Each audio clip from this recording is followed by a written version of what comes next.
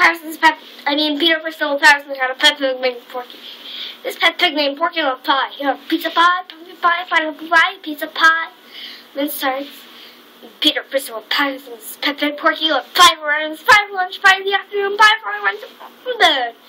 Peter Percival Paterson's pet pig Porky ate so much pie. You know what he did? He bought